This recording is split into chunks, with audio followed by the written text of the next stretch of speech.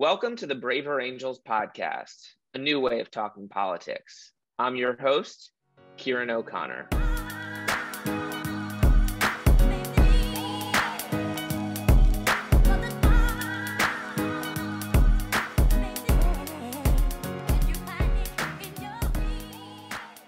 What are the historical roots of political polarization in America? How did the very founding of the country set the stage for where we are now? Why do Americans hold such clashing perspectives on the meaning of our core ideals? And how might we as a country understand our history so as to shape a future that truly pursues a more perfect union? These are some of the questions at the center of a new book called American Schism How the Two Enlightenments Hold the Secret to Healing Our Nation by Seth Radwell. Seth is a business executive, a graduate of the Harvard Kennedy School of Government, and clearly a lifelong student of history who's decided to share his learnings and impressions in this new book. Seth, welcome to the podcast. Ciaran, it's such a pleasure to be with you. Thank you for having me. Yes, it's our pleasure. Before we jump into the book, I want to hear a little bit more about why you decided to write this book. I mean, you're a business guy who's clearly interested in history, and you've written this massive book with so many fresh insights that are really giving people new ideas about the history of America. How did this come to be? Well, you're right. My whole career has been in business. I, I was most recently uh, CEO of various consumer products brands, uh, Proactiv and others. And I took a three year hiatus to work on this research project. And I think what led me to it was two things. Ciaran, one was the first I had over the past couple of years, I had noticed how there had been a complete collapse, in my view, of our political discourse. And you know, as a student of history and politics, I did get a degree in public policy. I've always been interested and felt that discussing political issues is really important for our democracy. And that with, without that, we, we can't really have a flourishing democracy.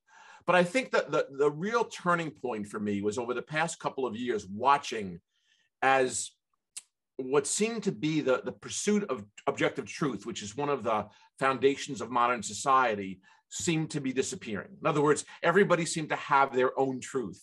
And when I would a, I would be at a cocktail party with business associates who I, over the course of my career, have had the benefit of meeting thousands, and I love to discuss politics, but yet I noticed nobody wanted to go there. Politics had become like a third rail. And these were really smart people, but for fear of bringing on the wrath or the acrimony of some group, they would put their head in the sand.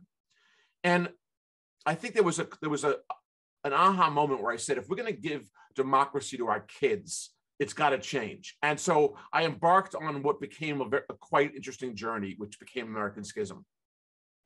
So you started looking into the history of the United States in the hopes that what you learn might help us think about the present and the future. So right. let's start with the title. What is the American Schism? Well, the American Schism is uh, a split a, a break that happened at, at, our founding. And the premise, by the way, of my of my, of my journey was that I believe we see all these problems around us today, and Americans are largely caught in two bubbles. One is we talk about this partisan bubble all the time. You know, people getting news or from one source and and and being in an echo chamber. And I think that's true. But I would argue, as important as the partisan bubble, we're also caught in a time bubble, meaning that we don't really understand how we got here. And my hypothesis going in, Ciaran, was that the types of divisions and acrimony we see today in society have roots and antecedents. So I went back to uh, our founding, actually, uh, which was, of course, during the Enlightenment. And, fa- and the American Schism is actually this, this very, very uh, vigorous break between two contending schools of what America should be. And the schism had on one side people like uh, um, Alexander Hamilton and John Adams and George Washington. And on the other side, uh, people like Benjamin Franklin, Thomas Jefferson, and Thomas Paine. And these two groups had an incredibly different vision, which, which is really important. Now, in the book, I argue that those divisions back then actually are the antecedents. They're the roots of some of our problems today. And so, in essence, the book not only sets up this schism back at our founding, but traces it through history. So, how would you characterize those two schools of thought? Well, it's, it's great. You know, one of the parts of my research was working with uh, some professors of history and political science, and one in particular, Jonathan Israel, uh, uh, who's an expert on the Enlightenment, has a framework for the Enlightenment, which he calls you know, the moderate versus radical Enlightenment. So the, the first point I think it's important for your listeners to understand is that sometimes we forget or we take for granted how important the enlightenment was for the founding of our country you know the word the word enlightenment itself has fallen out of favor and what I try to describe to, to people who are interested is to really appreciate how incredible not only the last 200 years of American history has been, but where we've come from. If you just look at a couple of objective stats, I mean, 200 years ago, at 1800, life, I'm sorry, in, yeah, let's say 1810, life expectancy was 30 years. Now it's over 70 years, right? At that same time, 200 years ago, one in five children didn't survive till age five. And today, almost all do, right? So, I mean, on objective measures of human flourishing, we've made tremendous progress. And that's largely due to the framework of modern society, which is fact based, called, which was the Enlightenment. Um, the way Jonathan Rauch, a, a, writer, describes it is that we've started building this constitution of knowledge, which has led us to, to flourish. Now, so that was the backdrop. Now, on the political spectrum, this is where the schism comes in. At the time of the Enlightenment, the, the, there was the, the, way we talked about society was in, in the terms of what was called a social contract. The great social contract writers, Thomas Hobbes, John Locke, John Rousseau, they they argued about like what why do uh, people come together to form a society, and what's the basis of that, and what are the fundamental rights that, that a society, that a government has to ensure? So these were fundamental questions that influenced our founders. Now, what was the break?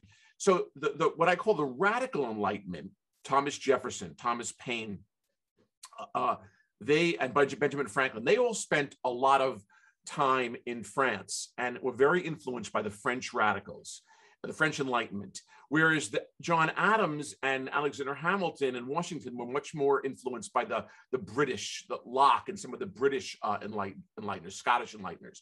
So what the, the two, the, obviously, when you're dealing with so many different points of view in political history and political viewpoint, there are many differences. But to me, I boil it down to two fundamental differences that created the schism. And, and I'll explain it this way. Number one, radicals believe that the only legitimate form of government in a republic, in a, in a social contract, was a representative democracy, a government of the people, bottom up. Whereas the moderates, in contrast, people like John Adams and Alexander Hamilton, they eschewed democracy. I mean, for, for them, the model was an aristocratic republic where the people who govern were leaders, the elite like themselves. So the whole model for how government works, in fact, which is kind of a fundamental point, was radically different between these two camps. And I can go into it in more detail, but fundamentally, this notion of a bottom up representative democracy versus egalitarian versus kind of an institutional aristocratic republic, which was much more the British model. Uh, that was the first big difference. The second difference that, that's worth mentioning is that the radicals, especially the French radicals, had documented how for centuries in Europe, the monarchy had colluded with the church to keep the people oppressed. And so it was, they came up with this notion of separating the civic arena from the faith based arena, the separate, what we now call the separation of church and state, which is pretty fundamental. And that was the, the, the radical enlightenment idea. The, the moderates were much more uh, open to religion playing a role, of a formal role in society. I mean, I think all enlighteners, or many, believe that faith was important, but it was a separate realm.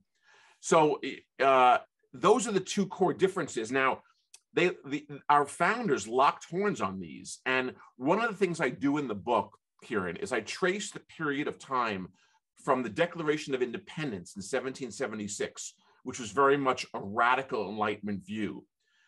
Fast forward 12 years to the Constitution, which is a much more moderate document.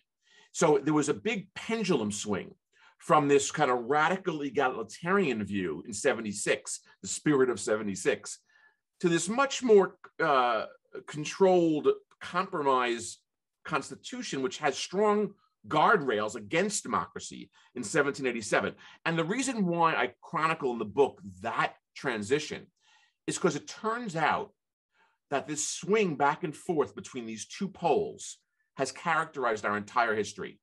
And I, I actually trace five or six episodes of our history using that as a framework. Hmm. Well, it's interesting because obviously, with the crafting of the, the Constitution, both the moderates and the radicals had to arrive at a document that they could both accept and, and agree right. on the same words. And yet, I imagine there are fundamental differences in how the two camps define and understand those very words, those very founding ideals liberty, freedom, equality, tolerance, progress, right. freedom exactly. of religion, freedom of its speech, etc. Um, I guess is there sort of a, a, fundamental difference between how the moderates and the radicals would understand uh, the concept of liberty? Let's say. Yeah, I think there is. I mean, uh, well, in the sense that you know the Jeffersonian kind of radical egalitarian view was very much about decentralized government, government being local. And, and you know, so, in, in, it's so ironic that Jefferson's legacy, which is so, so complex and so fascinating for many reasons, is uh, is embraced by what today are libertarians who believe, you know, stay out of my way. Where freedom and liberty are the fundamental rights. Whereas the moderates recognize, I mean, this is why this shift is so important uh, so uh, the moderates recognized we needed some problem solving in government. Like, let me let me characterize it this way: 1776, we're breaking away from Britain. There's a radical spirit about these ideals: uh, freedom, equality, all men are created equal. The Declaration of Independence. It's a it's a idealist document. It's it's a wonderful credo. But after the war's over, a couple of years later, what happens? Well, now these 13 very diverse colonies need to work together to create, for example, a foreign policy. As a new nation, we needed allies. We can't have 13 colonies talking to France. So we needed a foreign policy. We needed a system of commerce across the colonies.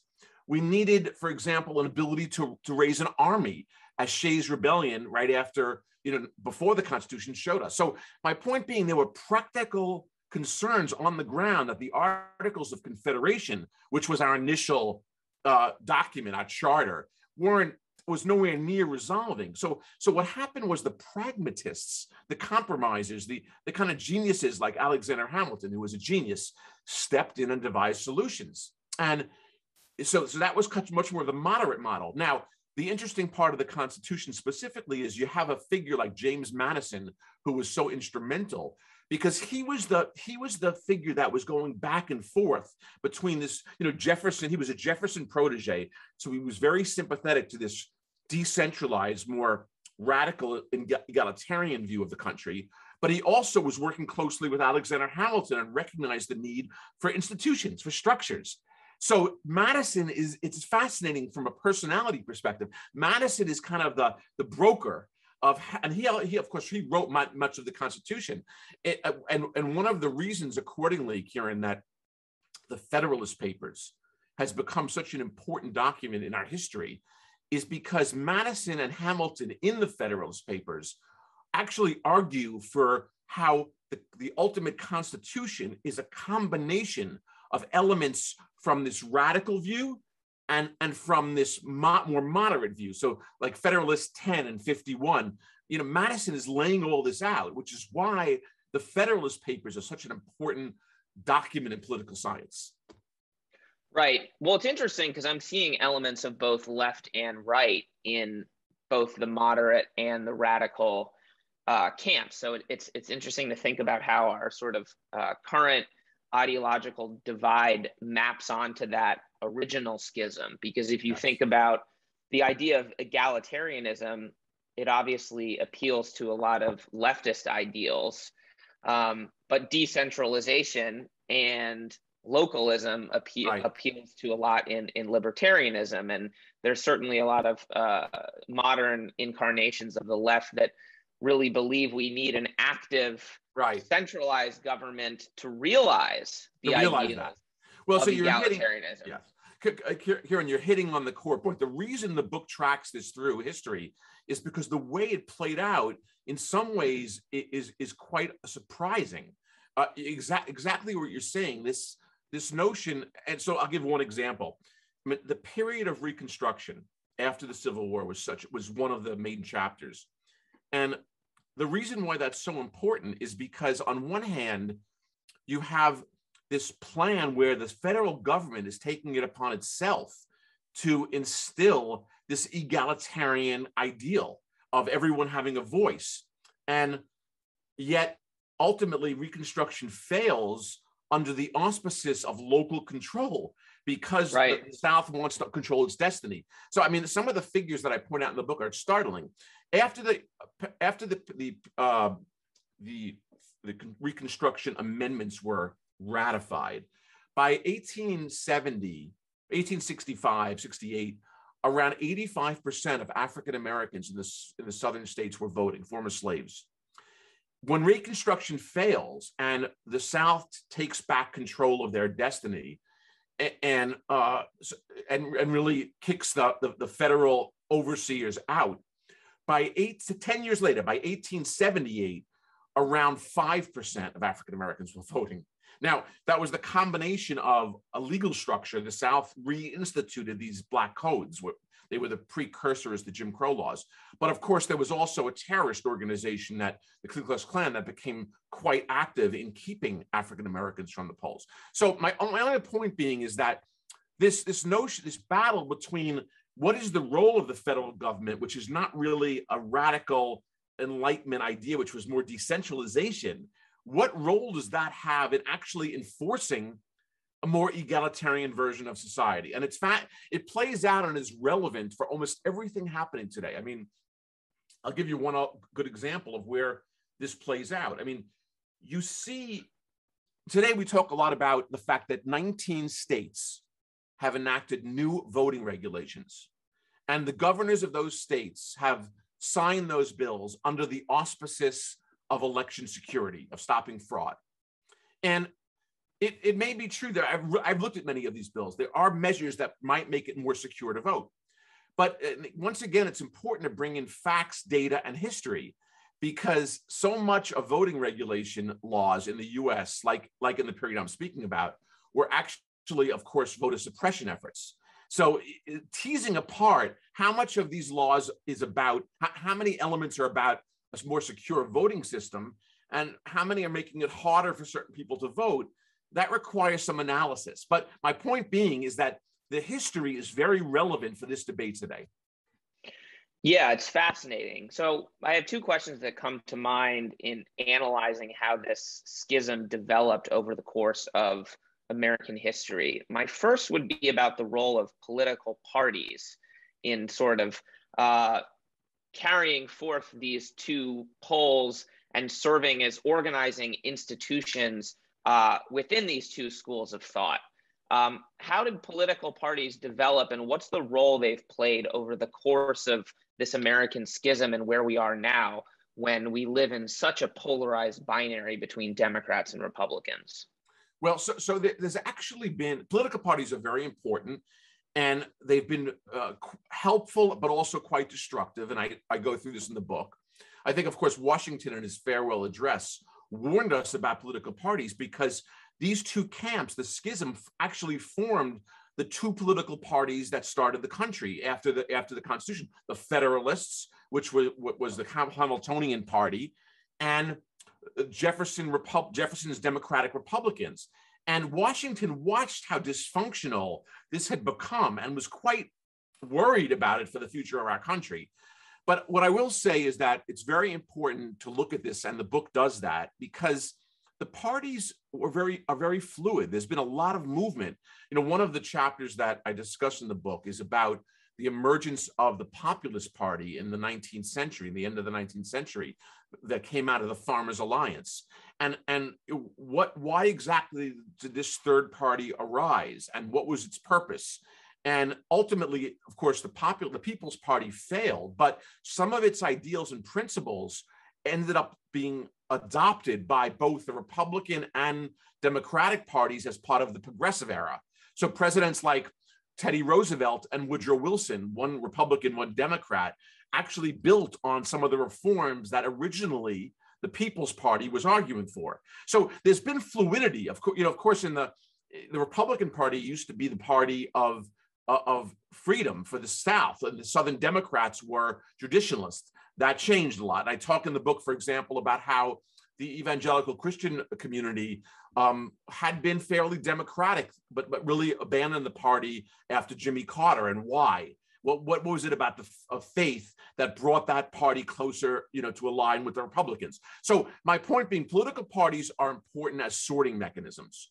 To like, voters cannot be informed on every issue, so they usually associate with a candidate who has an ideology. But I also argue in the third part of the book, which is where I talk about how to move forward, how to get out of the morass that we're in. I argue that the two political parties in our country have become a monopoly and it needs to be broken. There's a great book by uh, Katherine Gehl and Michael Porter called The Politics Industry. And it shows how the whole uh, money structure, lobbyists, lawyers around the two political parties are so plugged in that it's it really is it really is not conducive to innovative problem solving. And uh, i think there were some very easy solutions to fix that. So what i do in the third part of the book and I, I think here and this comes because i'm a business guy and my whole career i've been you know i'm focused on solving problems. I try to lay out a path forward that has two fundamental parts one structural changes that we need to break out of some of our problems today and the other is a set of mindset changes about how we talk to each other. Because I feel like, uh, and there are many reasons for this, which I go into, our political discourse is no longer productive. We have to regain a respectful, productive form of debating issues. Absolutely. And I think that ties nicely into uh, Braver Angels. Um, and so I want to talk a little bit about where we are currently and where we might go. But before that, I just have one more historical question that I feel like I'd be remiss if right. I didn't ask, and that is the the role that uh, power hierarchies, uh, particularly racial hierarchies, have played in the development of this schism. Because obviously, both the the moderates and the radicals uh, were developing their ideas in which the uh, racial and, for that matter, gender hierarchies were simply assumed. Right. right? Uh, you know, it, it, was white men at the top, and there was uh, chattel slavery. Yes. Um, and and over the course of history, oftentimes um, people's ideals came into conflict uh, with their realities in terms of what what are their what is their allegiance to a racial hierarchy versus their allegiance to right. uh, ideals. So it's a broad question, but as you were researching this book, how did how did your thinking about the the role of race in American history, uh, which has become such a divisive topic in itself, you know, with the 1619 project that's right. trying to centralize uh, slavery and sort of the more uh, radical you you could say adherents of 1619 that sort of uh, reject even the Enlightenment right. uh, as sort of a, a fundamentally damaged concept right. because of racial hierarchies. And then you have people who are pushing back and saying that, you know, the 1619 project is uh, just trying to fundamentally uh, criticize America as rotten from its very core. And uh, you know, we're seeing this historical divide play out now in school boards across the country yeah. because it touches upon what do we teach our history, uh, our children about the history of the United States. So I'm just curious, um, sort of going in and over the course of uh, the research, I'm sure this question kept returning. And, and how do you think about its role in the schism? Well, you, there's a lot in, in that question, and I'm glad you bring it up. It's it's it's fundamental and central. There are two things I should mention. First of all, I believe looking at history from many perspectives is important, and and I believe our country is is great. I'm a kind of a product of the American dream, but I also believe we have to recognize our, our flaws, and we've we've had a lot of them.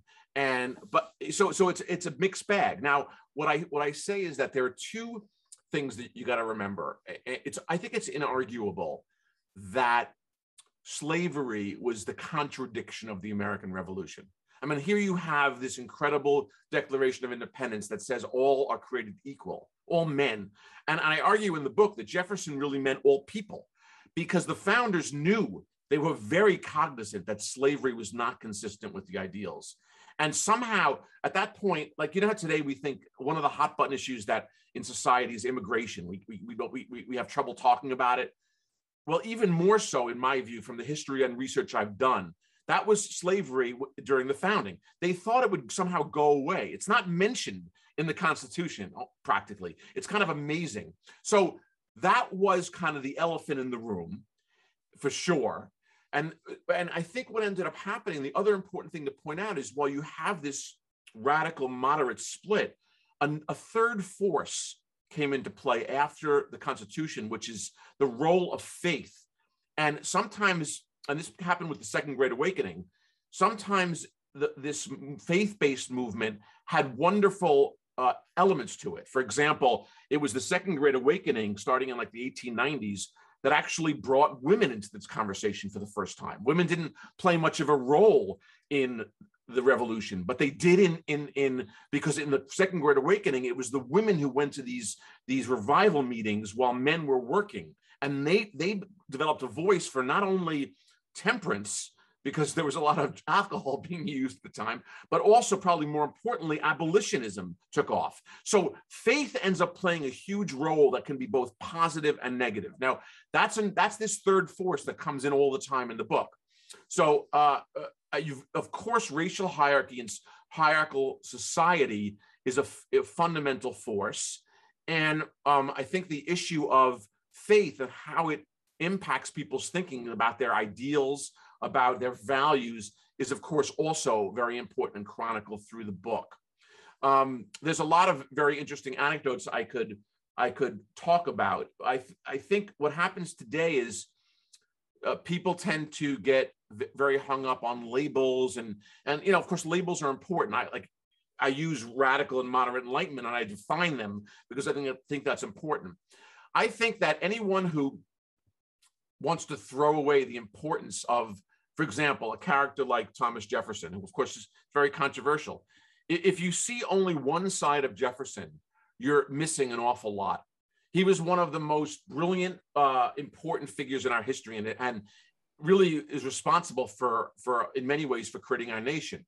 But he also had flaws, like all all do. And his, in his time, it, it, I guess what, what I, the way I put it to your listeners, if you try to use today's value system to uh, to uh, impose that on our founding fathers or historical figures, you're always going to come up short. That that's that's not always a healthy mechanism to evaluate contributions to history. Of course, all historical figures have flaws and that we need to be addressed. But to say that the American Revolution uh, in 1776 through the period, which was also linked to the French Revolution, it was a worldwide movement which had a, a fundamentally powerful notion. It was about self government, and it was about the notion that having a noble title didn't entitle you to a, a future. And if nothing else, the Declaration of Independence is the most radically enlightened document that's ever been written in history. And it, it's it's it, and the founders knew that, and the ideals laid out were certainly not arrived at or not achieved, if you will, in the first phase and in other phases. The question is, are we getting closer? Are we moving? Hmm. Is the arc of justice moving in the right direction? I mean, one of the chapters that, that's also in the book is about how it was that Lincoln in at Gettysburg and his in his second inaugural, of course, his fundamental thesis was: look, we have this great credo. It's called the Declaration of Independence. It's made us very successful. It's also created, uh, we, we also have a, a charter for implementing it, which is flawed. It's missing, it's not concluding everyone. So we've got to do some work to improve it. And my version of uh, uh, of this today, in, in terms of the question you ask, I'm sorry to go on, but it, it's it's complex. Is that both extremes, the left and the right, are missing, are, are, are destructive in that they're they're not representing a balanced point of view. In other words, my research in the book shows that 77% of Americans are part of what I call the frustrated majority, meaning they believe that the extremes on both sides are drowning out their voice. And eh, that we have in fact more in common than not but it, but and they believe in compromise but the notion of throwing everything out because as as sometimes folks who are associated with critical race theory or 1619 you know that, that's saying that all of our structures have been barbaric is ridiculous and the folks who say that our, our democratic republic has been perfect, that's also not true. So the, the answer is, is dealing with our flaws and moving things forward towards improvement. It's about, it's like a glass half full, half empty, half empty. And so that's my perspective that it's the, it's the frustrated majority.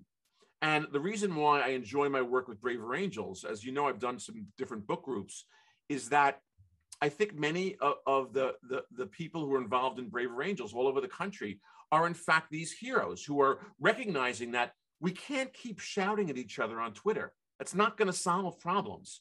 That we need to get in a room and understand. You know, the third part of the book I mentioned talks about a mindset change, Ciaran, and I I, I set this up around some basic questions that that are that are asked, and one of them is, are we really committed to a representative democracy, a government of the people. And, and, and what does that maintain? What does that require? Because there's a professor at Harvard, Danielle Allen, who talks a lot about what's required in, in a democracy. It's hard work, and, and it, it, it, we've got to be committed to it. But it's also, in, like, for example, in an autocracy, edicts get handed down and people follow them or not. Democracy requires that we listen to each other and learn from each other. And what I, the point I make in the book, and I try to illustrate this, is that we've done best in our history when we've we've we've used our differences, even when we've had vast disagreements, when we've used it to actually talk to each other and compromise. At other times we haven't, and we we had things like the Civil War. And I would argue that in recent years, what's happened is that the our public debate the rational and reasoned part and compromise part of our debate has been crowded out by acrimony and rancor. So they, they've replaced the notion of reason and facts. And that's part of the problem. Now, look, disagreements, uh, uh, ideological, political debates have always been a mix of facts and, and reason and emotion. But I think I make a strong case that emotion has now crowded out rational thought. And, and, there's no better example than the immigration debate today, if you want to go into it. Right. Well, I'm hearing sort of three dimensions that shape our current political reality and, and may be right for reform uh, structural, cultural, and what you might want to call uh, epistemological, which touches on your, your last point. So, starting with the structural, obviously, there are structural features um, of our democracy that seem on at least on the surface to sort of enforce the moderate view of things guardrails um, you know yes. uh, things that some would say are intended to uh, protect the uh, minority from the tyranny of the majority yes uh, others would argue that in fact the the the true um, reason for many of these structures was to protect hierarchies um, right. So, for example, if you think about the filibuster, yes. um, you know, people will say, well, this is to protect, um, you know, the rights of rural states and the rights of political minorities. And others will say, but let's look at the history. This was really used as a way to protect Jim Crow. Right. Um, there's all sorts of features like that. The electoral college, for example, which has its own interesting sort of uh, somewhat random history of development. Obviously, the electoral college is not prescribed in the Constitution, uh, but it's led to a reality in which more and more um, you know the the winner of the popular vote can end up losing right. uh, the electoral college vote and of you sort of get that schism in stark relief uh, right. between pure democracy and right. um, this sort of more uh, institutional democracy so starting with the structural issues what do you see as some of the reforms uh, that we might make that could serve to uh, depolarize and uh, sort of, you know, seed the ground for a, a democratic uh, reinvigoration. Great. Well, this is again discussed in the book, and let me give you some examples. I think first, the first thing before we get into what structurally I recommend changing, you have to remember that the founders, the framers of the Constitution, recognized that they would never be able to foresee all the potential issues with the Republic, as they describe in the Federalist Papers. That was the reason they made it malleable. The, fame, the frame is intended for the Constitution to be modified every generation. And I think that in and of itself is interesting because it's turned out that the amendment process might be too rigorous for, for, for that to happen. The last time we've had a meaningful amendment was in the 70s. Uh, so that's the, but, but the notion that the framers wanted to, to allow the Constitution to adapt to times is a fundamental premise. Now, there are many examples of structural things that have but may have been put in place for uh, a purpose and are now outserve that purpose. Two of the ones I recommend in the book, which we can discuss, are term limits, and I can explain why that's important.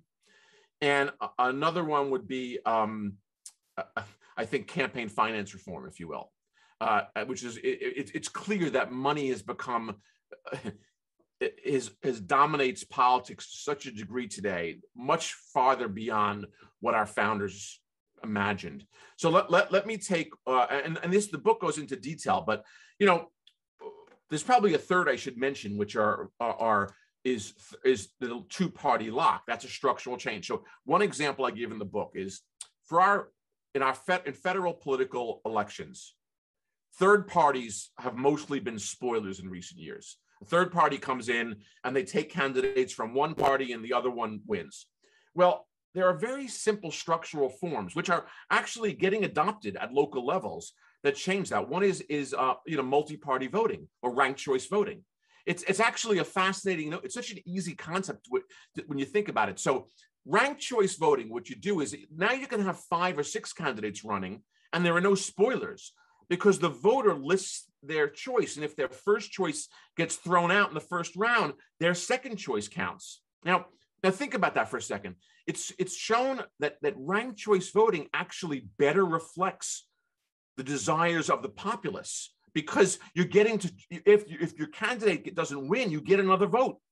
So it's a much better structure, but yet we still have this two-party lock. So that's an example that of a structural change that might bring fresh ideas into the debate and break this two-party monopoly. That's that's one structural change.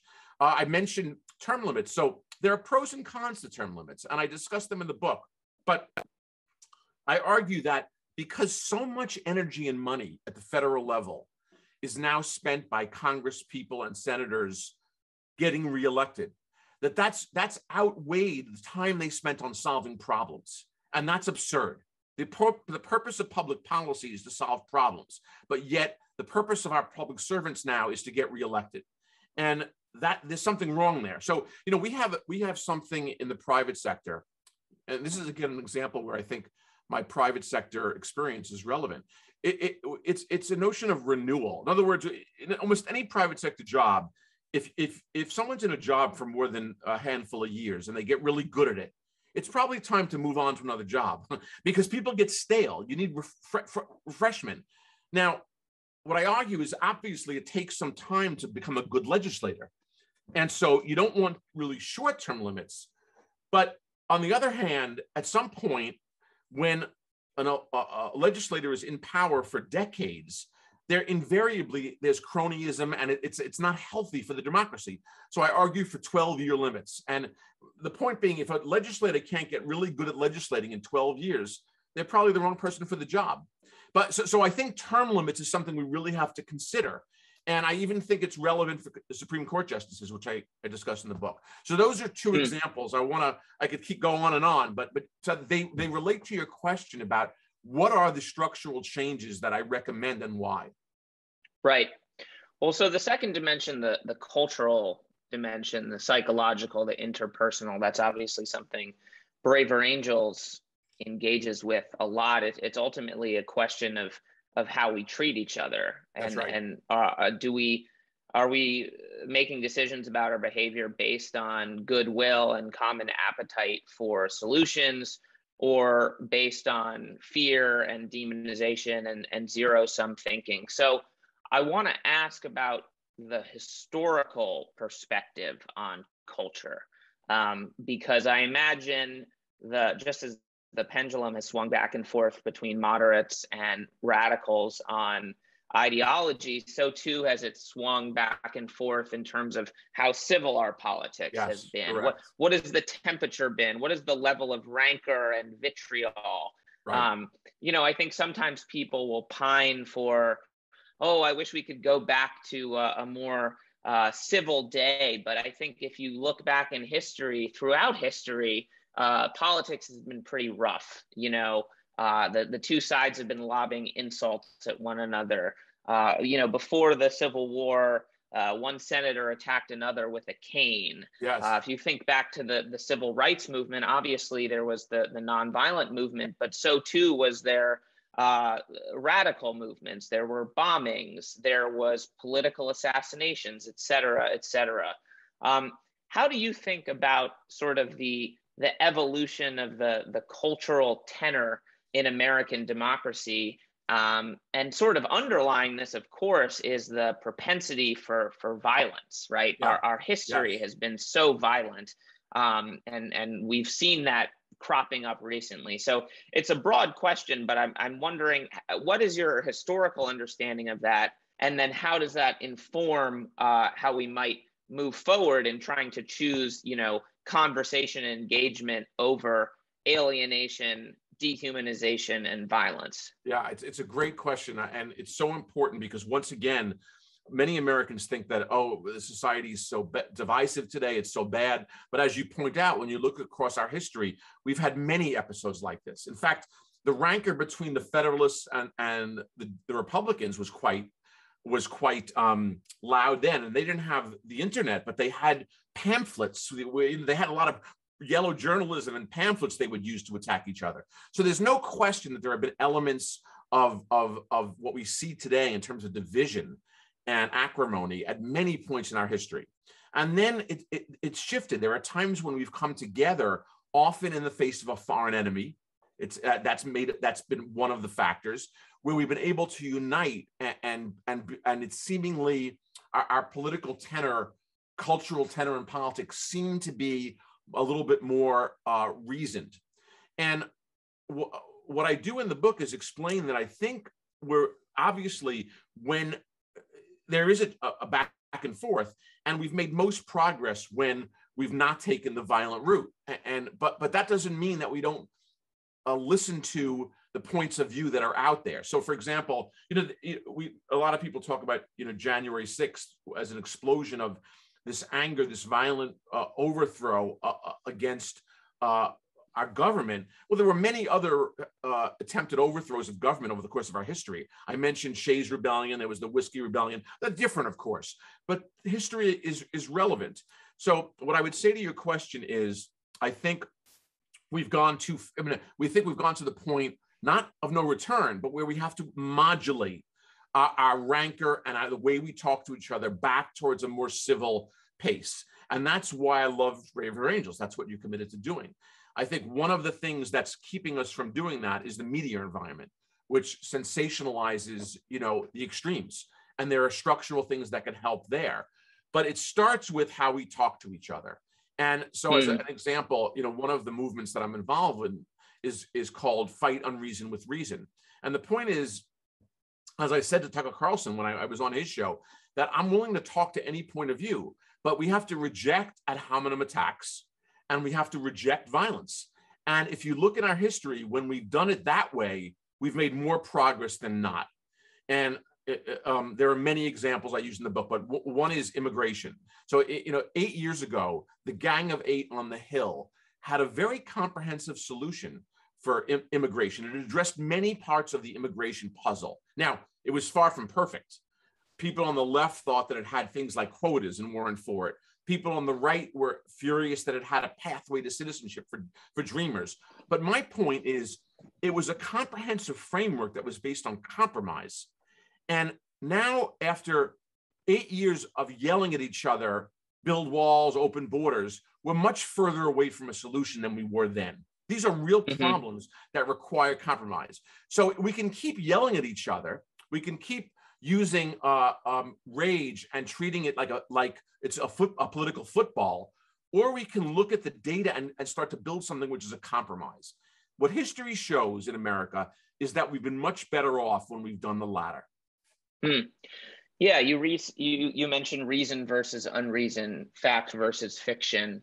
Um, I think that's a good segue to the kind of the last dimension I mentioned, the the epistemological dimension, and and I think it's a good point you mentioned in thinking about the factors that contribute to the level of rancor. You mentioned the media. Uh, I would mention technology as well. Yes. Um, this this last issue sort of wraps around everything. It wraps around how we talk to one another. It yes. wraps around structure, and that is uh, what what is our shared reality? What right. what is the the the set of underlying uh, facts and assumptions and evidence and understanding that shapes our debate? And that's a something we hear in our workshop all the time. People say, "Well, you know, I'm happy to talk to the other side." but we can't even agree on on what the facts are and um, it, it ultimately becomes a, a question of trust as yeah. well as reason right because we can use a reason and critical thinking to evaluate uh, what we trust but right. trust is also very much shaped by emotion and community yeah. um, and so i wonder how you think about that I'll, I'll give a quick example right so I believe that climate change is happening, right?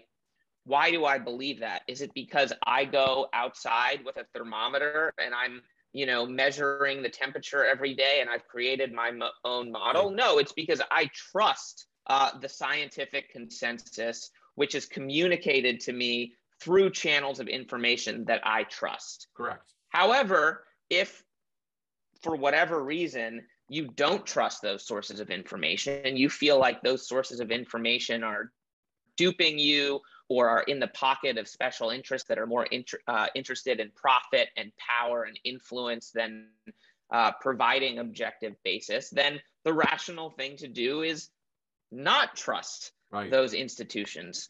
Um, and so, you know, every survey shows that the level of social trust in America is declining. And we know that low social trust corresponds with uh, higher polarization. And, and it's sort of logical to think that the less you trust your neighbors, the more likely you are to um, excuse or tolerate uh, violence toward them.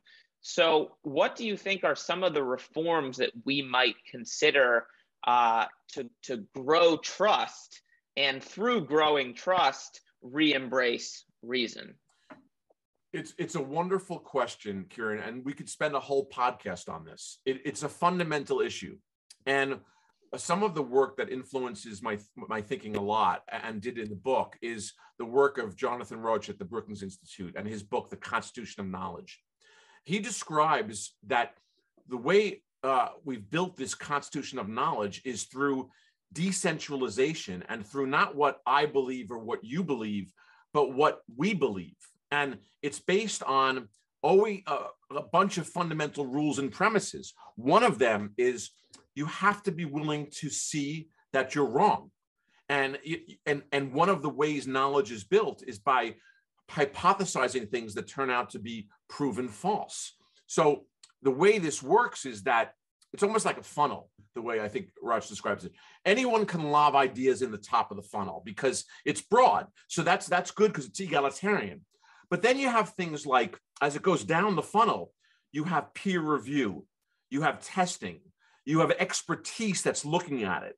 You have transparency. So what, what comes out as knowledge on the other side has gone through the rigor of a process. And that's why it, it, it's robust. And even then, it's true until not proven true. So I, I couldn't describe in detail how this all works, but it requires our institutions to have processes. It requires decentralization, but also expertise. And uh, uh, it served us very well if you look at the objective facts. Like, you know, we, we've developed vaccines that, that have solved viruses, for example. We, so, and I'm convinced, by the way, to, to, to, to, to just put my, my cards on the table, that the constitution of knowledge structure that we've built over a couple hundred years holds the answer to a lot of our problems. We, in fact, if we use that, we'll come up with solutions to climate change.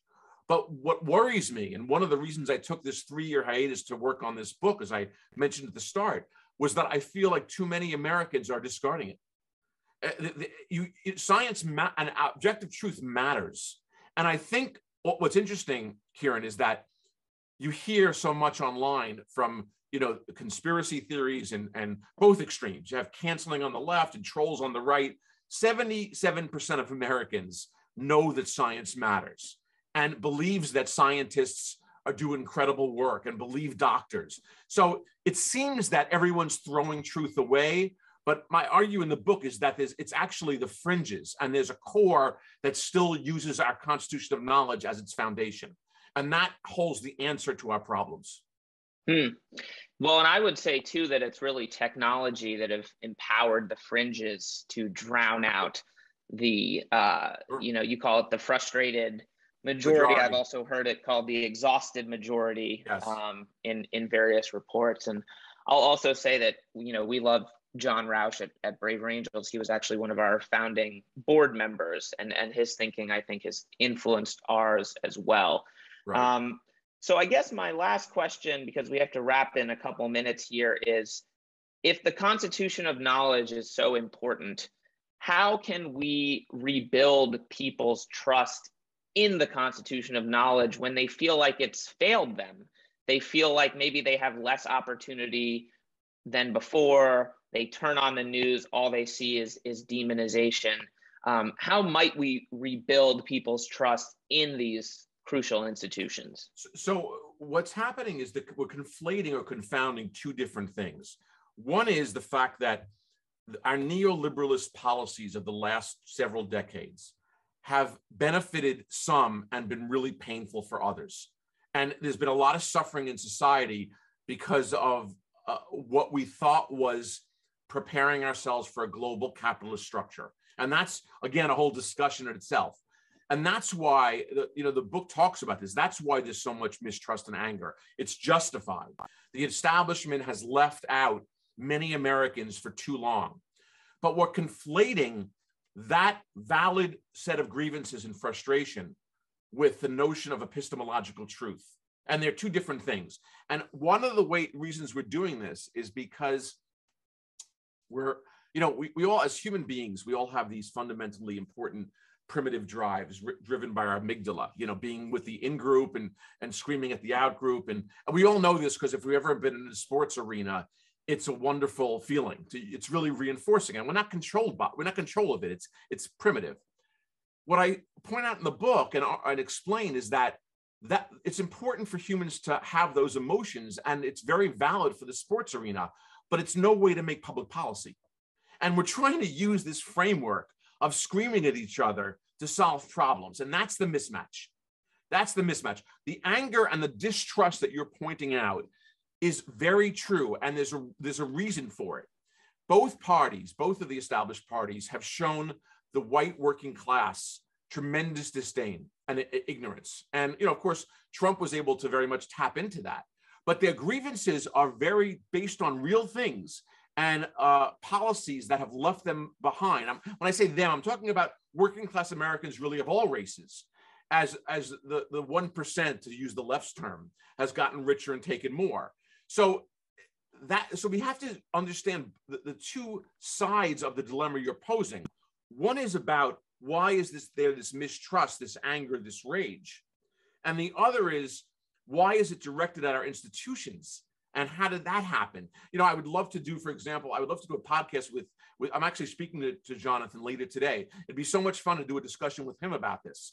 Um, I don't know if you've, if you've ever done a podcast for with him, or I would love to, to, to chat about this because that's, I think, what's happened today. And we probably don't have time to go into the solutions, but I think uh, you're hitting on the fact that technology, the way it's designed, is helping the, the extremes. And there, there again are, are simple ways we could incentivize, for example, different things than whoever gets the most clicks. There are ways to incentivize other things in the media model. Doesn't mean the government has to take over information, but it means we can change the incentive structure. And I discussed some of those in American Schism. Hmm. Well, I think that's a good point to end on. I think yeah. we've surfaced lots of different issues that could, uh, you know, merit their own conversation in itself. But I think this was a good place to start to start getting our listeners and anyone else who's interested in this topic thinking not just about the current moment, but really thinking and understanding how history has gotten us to where we are. Um, exactly. So, Seth, I, would love so I have for... one, one, one second. I would go ahead. To, I would love to just tell your listeners that I, you know, one of the things I really enjoy is the the talks that I've done with Braver Angels folks, and I'm happy to um, hear from listeners. So there's a site, AmericanSchismBook.com, which explains the book a little bit, of course, but it also has a way to get in touch with me. And I would love to hear from your listeners. It's American Schism is S C H I S M book.com. Got to put a plug in for that. And uh, again, I would, I would love um, to hear from, from interested listeners uh, and readers about their questions and their concerns. It's one of my, the real reasons that I've done this is for interaction and, and learning. Definitely. And so too do we at the Braver Angels podcast always want to hear feedback from listeners, criticism, compliments, questions, suggestions. We take it all. If you liked what you heard, please subscribe. You can shoot us an email at media at braverangels.org. And once again, our appreciation to Seth for coming on, and we will see you soon.